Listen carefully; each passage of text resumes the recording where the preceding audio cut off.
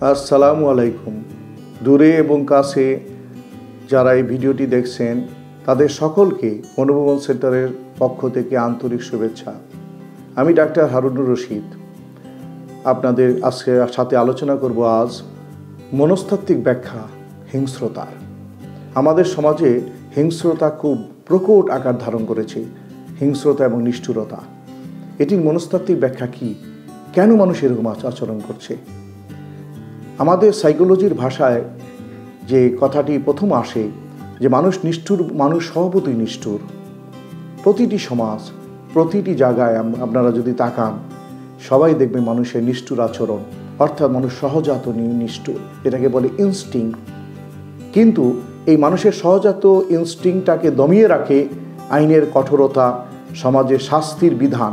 কিন্তু যদি কোনো সমাজে শাস্তির বিধান না থাকে, তার এই সহজাত প্রবৃত্তি বা নিষ্ঠুরতা অনেক গুণে বৃদ্ধি পায়, যার প্রতিফলন আমরা আশেপাশে দেখতে পাচ্ছি।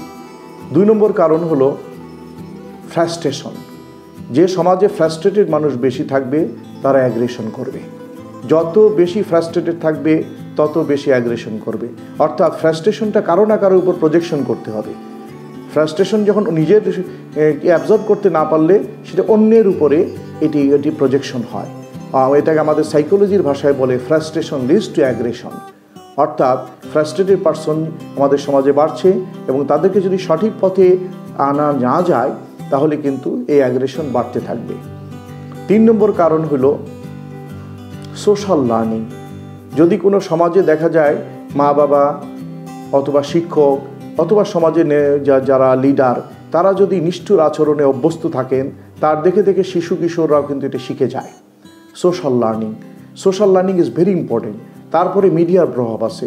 যদি মিডিয়াতে দেখানো হয় রেপ অথবা যে অ্যাগ্রেশনগুলোকে যদি আমাদেরকে এমনভাবে প্রেজেন্ট করা হয় যাতে উৎসাহিত হয়, তাহলে কিন্তু এই অ্যাগ্রেশন ছড়িয়ে যাবে এবং এটা যত কম দেখানো যায়, ততই ভালো। এবং যদি দেখাতে হয়, তাহলে এমনভাবে প্রেজেন্ট করতে হবে যে যারা নিষ্ঠুরতা করছেন, তাদের কঠোর শাস্তি হচ্ছে। এটাকে যদি দেখানো যায়, তাহলে দেখা যাবে এটি আস্তে আস্তে কমে আসবে। শেষ শেষ পর্যন্ত আমি বলব যে, সমাজে যদি আইনের শাসন প্রতিষ্ঠা করা যায় এবং সমাজে যদি সচেতনতা বৃদ্ধি করা যায়, তাহলে একটি সুন্দর সমাজ গড়ে তোলা সম্ভব, যেখানে নিষ্ঠুরতা থাকবে না, যেখানে মানুষ, মানুষের মতো আচরণ করবে, মানুষ মানুষের জন্য। এই কামনা করে আজকে বিদায় নিচ্ছি।